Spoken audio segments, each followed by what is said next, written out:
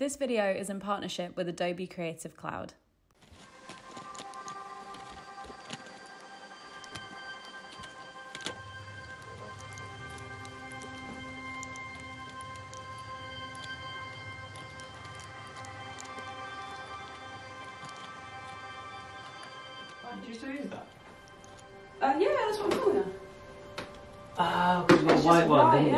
Yeah. you? Yeah, yeah. I just have space. I mean, I've got this. It's pretty useful. Yeah, throw the box away.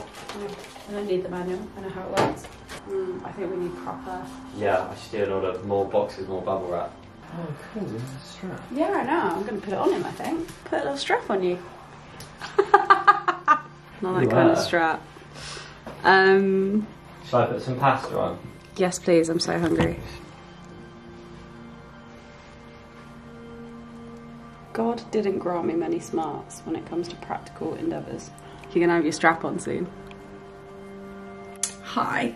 Today I wrote a very long to-do list and a plan. It's helped so much. I went out today and I did six jobs on one trip. I'm impressed at myself. Things feel more manageable now. So yeah, basically nothing to report today other than I'm feeling better. More ready for the week ahead. Moderately.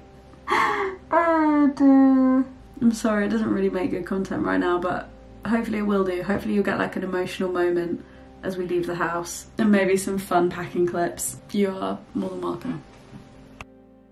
My photos just came back that I shot over the weekend and the weekend before at the various festivals I went to. And I want to put together not only an edit of the film photos themselves, but also pop them into a reel. I want to show you how I do it. I'm going to make one of those cut out photo reels, which are quite popular right now. And I'm going to be showing you the parts that I do with my Adobe apps. I've been using the Adobe Creative Cloud since I was in university when this was just a hobby. Even though I just primarily use Photoshop and Lightroom, there are so many apps in the Adobe Creative Cloud. If you make anything creatively digitally, you will know how many there are. Something else great about the Adobe Creative Cloud family is they've been building and introducing new things the entire time. So for example, Adobe Fonts now exists, which is so useful.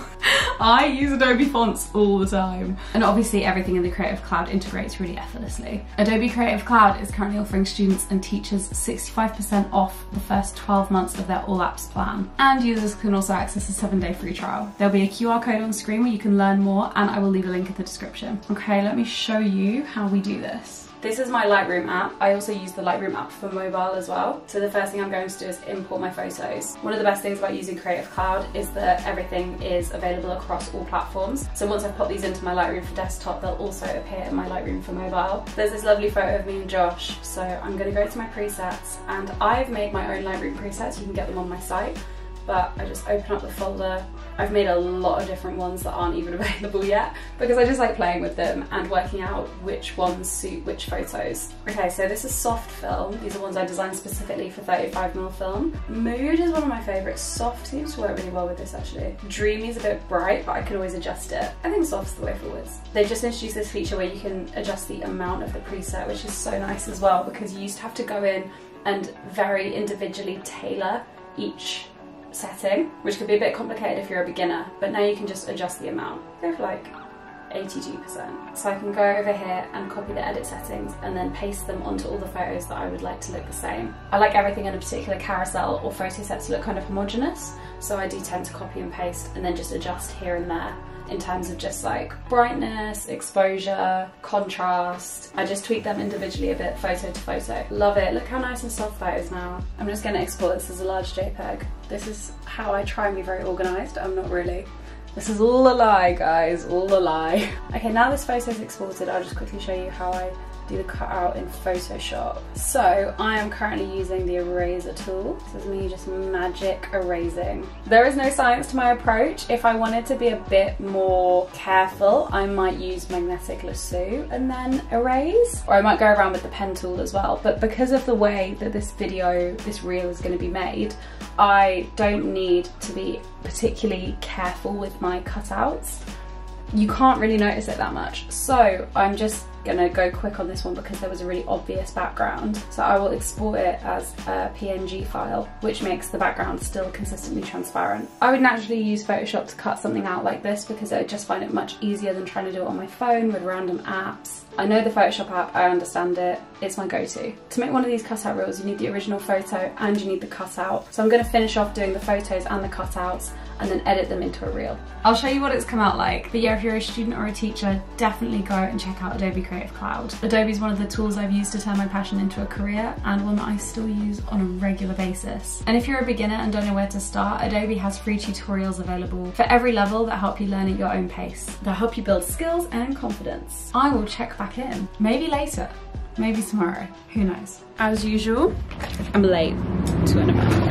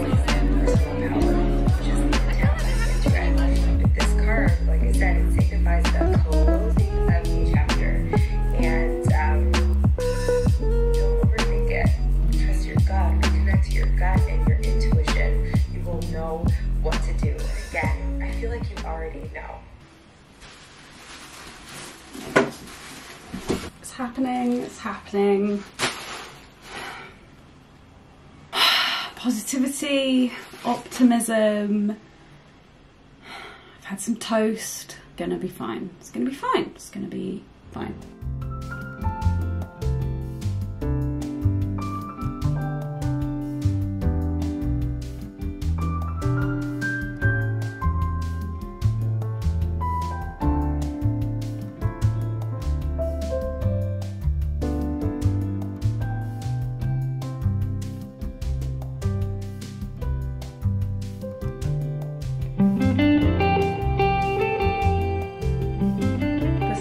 Favourite palettes. I used it solidly for two years, but it has been destroyed by this black breaking.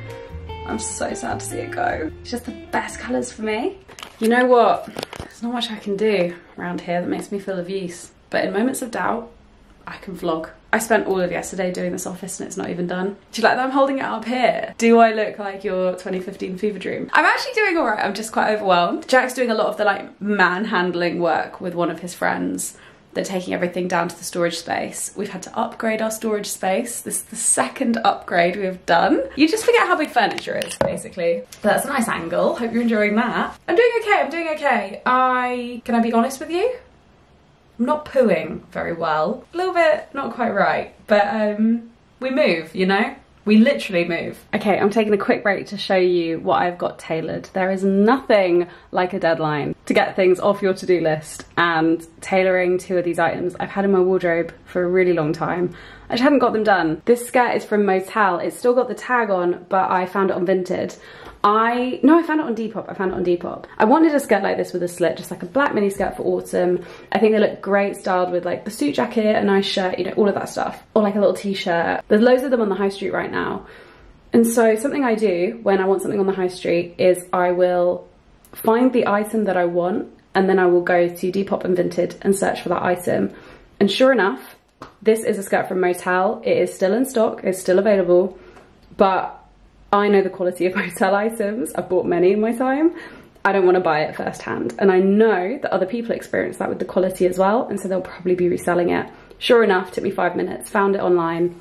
And it's a terrible fit. I got it for a tenner, but it's like a bad fit.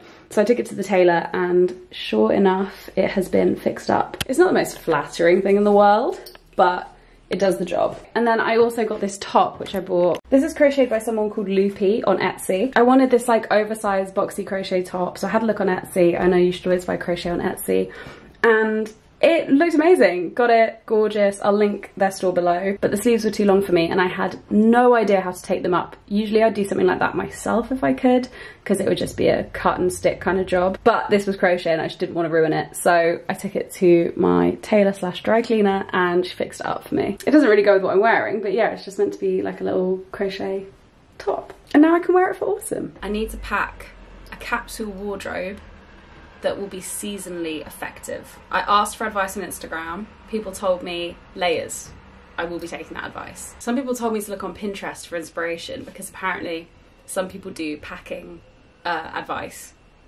I have not done that. I've not had time. So we're just gonna go for it. Job number one is going through my underwear drawer. I cannot wait to have a proper underwear drawer when we move. I've just gone through an old chest of drawers and pulled this much old underwear out of it. I never clear out my underwear, I don't know about you, but this is all like five years old, falling apart. I know, I don't even use it anymore. I don't even know why I brought it to this house. This is gonna be, it's just quick fire.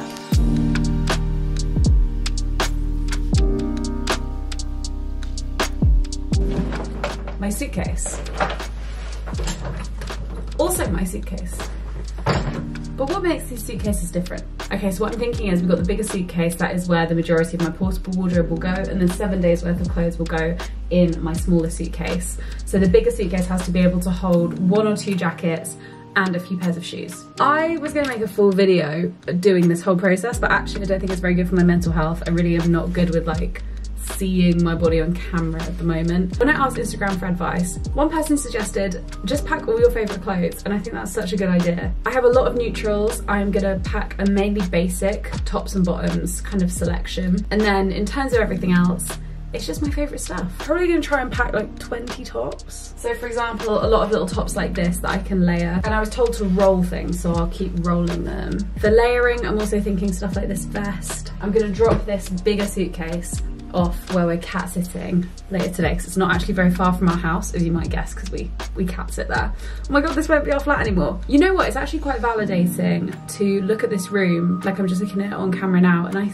i never liked this room and i don't like it any more or any less while it's full of stuff and completely chaotic and actually it's really validating to know that I wasn't just being a princess. This room is just not for me. I don't know why, the vibes are wrong. Trousers are actually gonna be relatively easy for me, so I'm definitely gonna keep these cargo pants that I'm wearing today, they have been a savior. Comfy trousers with elastic waistbands, who knew? And then I'm gonna take a smart pair of jeans. These are my new Agolde jeans. I think that's how you say them. But these are like a smart pair of trousers. They are long line, high rise, straight fit. Oh wait, those were frame denim, sorry. These are the A-Gold ones, or A-Goldy. These are so comfy. I'm debating one of these 501 pairs. And that will be all the jeans because who wants to wear jeans all the time? Like they're not that versatile. I'm much better off with like a suit trouser you know? I have noticed that i'm just so bad at packing for travel. And i think it's because i don't bring enough versatile stuff. Like i never I never think to bring enough pairs of shoes, enough jackets, enough sweaters. Those are the things that I actually just end up overpacking tops and bottoms, whereas really to make the outfits work, you need all the accessory bits. Anyway, I'm gonna keep on with this and stop chatting.